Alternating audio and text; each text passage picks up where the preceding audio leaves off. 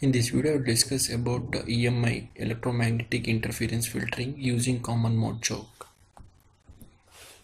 So I have discussed this common mode choke in the uh, SMPS point of view. So SMPS that is switched mode power supplies. So which is uh, commonly used for many applications.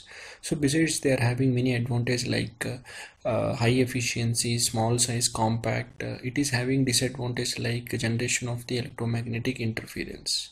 So how why this electromagnetic interference is generated because mm, this SMPS is operating at a very high frequency and this rapid changing of current and voltage produces the electromagnetic interference.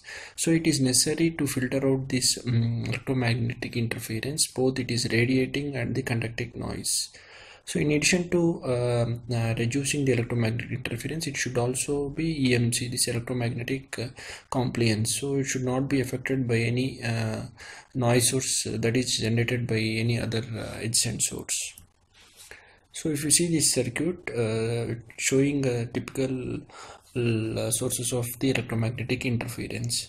Here the rate of change of voltage across the switch will also generate the uh, EMI and the rate of change of current in the primary and secondary sets will generate uh, the electromagnetic interference.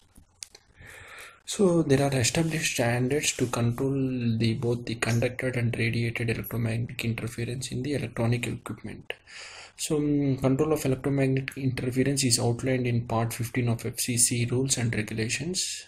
So in addition to this, there is another widely used standard is CISPR 22 which is um, commonly used in uh, European community. So EMI can be transmitted uh, by conductors that is uh, through wires or it may be coupled through a capacitive and inductive means or it may be transmitted via the free space uh, in, the, in, in the form of radiation.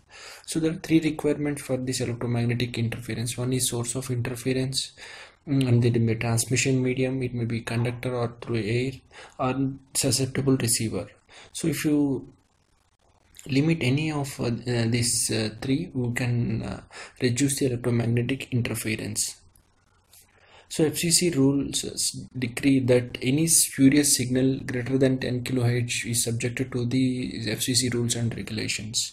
So according to this, conducted EA emissions, uh, that is RF signals that is contained on the conductor, that is on the AC power bus, must be controlled in the frequency band between 0.45 to 30 megahertz, and the radiated emissions in the range of um, 30 megahertz to uh, 1000 megahertz and FCC further categorizes the digital electronic equipment into class A so which is used for industrial commercial and business environment and class B um, that is designated for use in a residential environment so examples of class B devices are personal computers, calculators and similar devices that are used for uh, by the general public.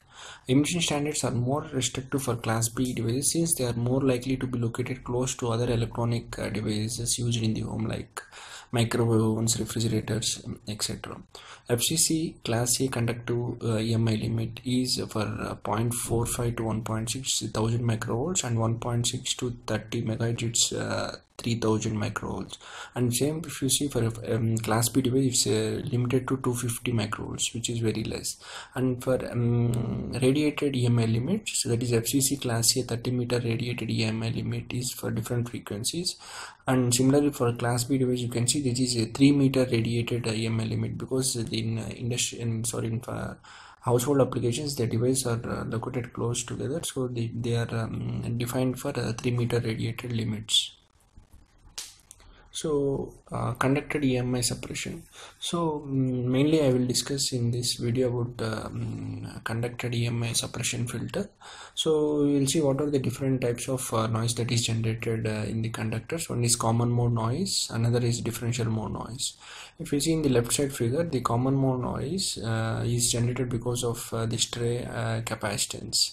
So the um, current is common in both the conductors and it is um, flowing in this same direction both the conductors and it is going to the uh, V common that is ground.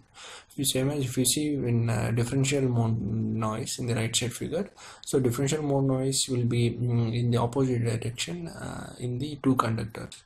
So the differential mode noise generally uh, occurs at the low frequency and it is uh, can be eliminated by using a capacitor uh, across the line and for eliminating the common mode noise we are uh, using the bifilar uh, common mode choke which we'll going to discuss in the next slide.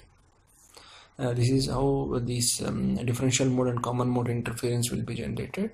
So because of uh, the stray and parasitic uh, capacitance so the common mode interference will be generated. So this is the choke so which we are uh, using for eliminating the common mode noise so this is having four uh, terminals. So for a differential uh, mode uh, signal. So generally for the applications uh, for the uh, carrying the information so the signal is transmitted in the form of the differential uh, way. So this choke should not affect that signal. So it should only attenuate the common mode signal. We will see how this is done by this choke. So um, for the common mode signal so the um, at the inlet at the incoming side if you see the common mode noise is in both in both the terminals is in the same direction. So because of this there is a net magnetic flux that is generated uh, in the uh, choke and this uh, causes an inductance net inductance. So the um, uh, common mode choke will offering an inductance and this inductance will limit uh, the common mode noise. Same for the differential signal. So if you see uh, the currents are in opposite directions and for differential signal the net flux is uh, zero because of uh, the opposite direction of the flux that is generated. So it will cancel each other. The net flux uh, will be zero for differential signal.